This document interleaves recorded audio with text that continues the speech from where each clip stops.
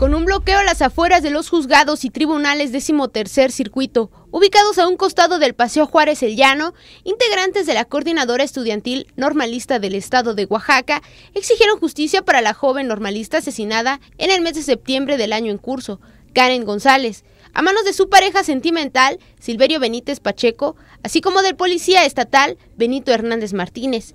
Estamos pidiendo lo que, que se castigue a los asesinos de la compañera Karen que estudiaba en la escuela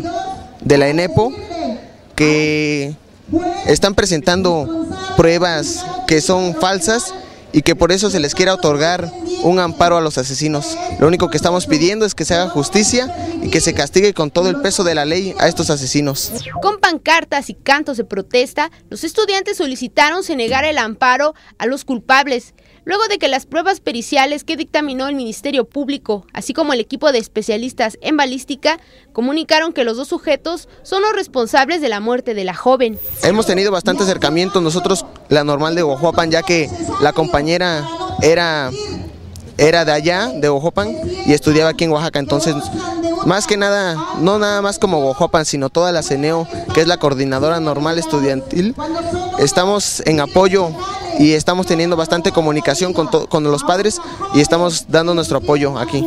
Finalmente los inconformes exhortaron a jueces, procuradores y subprocuradores a no dejar el delito impune y sancionar a los responsables del asesinato. Que se lleve el proceso como realmente debe de ser, que no se alteren la situación y que esperamos que, que los juzgados aquí lleven el proceso como debe ser y que no, se, que no se dejen manipular ni vender. Con imágenes de José Antonio Reyes, reportó para MPM Televisión, Vicky Ramírez.